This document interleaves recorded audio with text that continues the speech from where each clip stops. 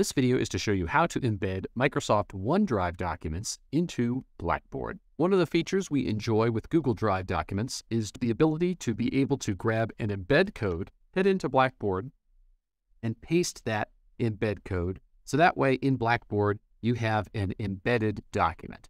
So people don't need to click on a link to see the document. They're able to see a version of the live document right in the Blackboard course.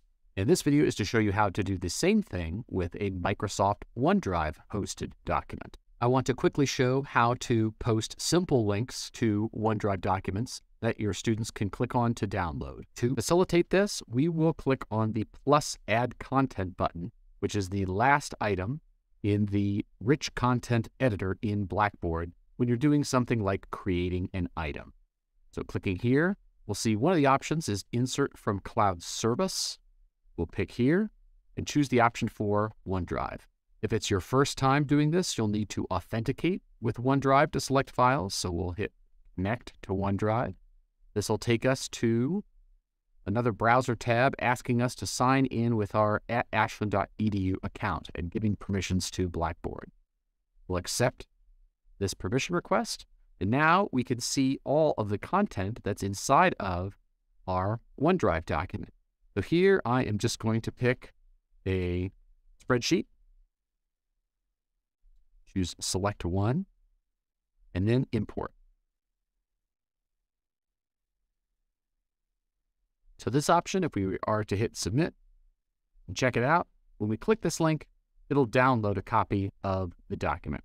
That's a good option to know how to use in order to be able to post links to download documents that you have stored in Microsoft OneDrive. To embed a document, we go to office.com, choose the multiple app log launcher, and head to OneDrive. From OneDrive, double click into a document to view the document. In the document, go to File, then choose the option for Share, and choose Embed.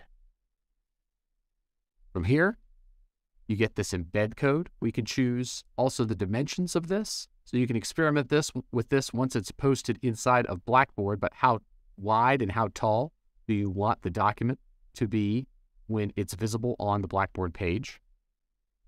But we'll click into the embed, embed code, copy it. We're just hit copy and close. Head back to Blackboard. Click on the greater than, less than source code symbol. Paste the embed code. Click Save. Now you can see there's an embedded version of the document. When you hit Submit, you'll preview it.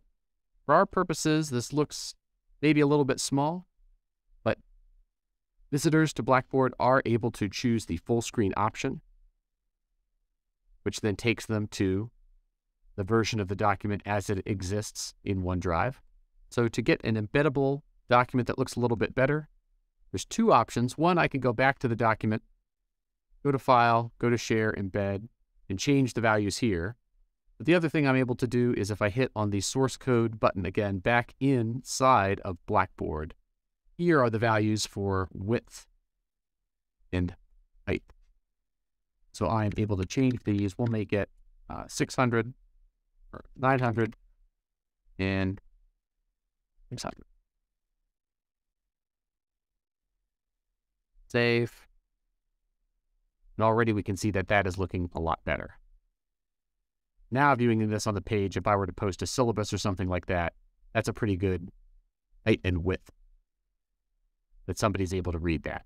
An important final note, just as is the case in Google Drive, you're going to want to make sure that the draw the document that you are embedding from Microsoft's OneDrive is shared publicly. So viewing the document, going up to the top right, clicking on the share button, choosing the share option, we want to make sure that the link is set so that anyone is able to view the document.